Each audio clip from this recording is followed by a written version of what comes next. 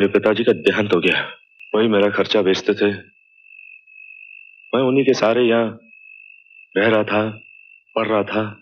तुम्हारा और कोई नहीं। कोई नहीं। दो महीने तुझे अपने पास रखा। बोल फ़ीस कितनी है? साढ़े तीन सौ रुपए। वो भी दिया। आने जाने का भाड़ा भी दूँगा। खाना भी खिलाऊँगा।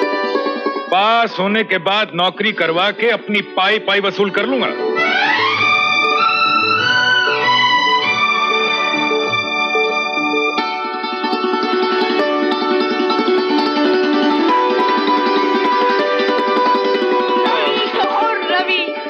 कॉन्ग्रेचुलेशन रवि थैंक यू तुम फ़र्स्ट क्लास में पास हुए हो। इसे नौकरी पर लगवा दे।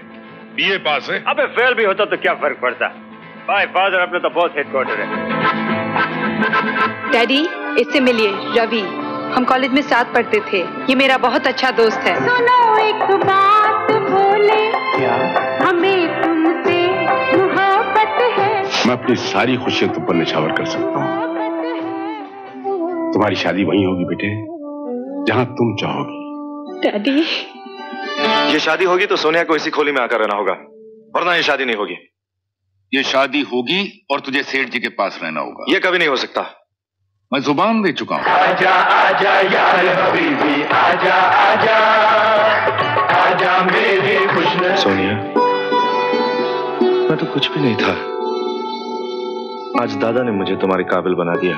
दादा दादा दादा हमारे एक एक पल से लिपटा है दादा।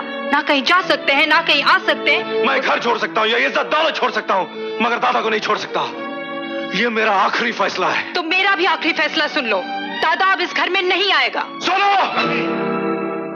इंसान नहीं है प्यार का धारा है ना खुदा तूफ़ान में खुदा का इशारा है ना खुदा।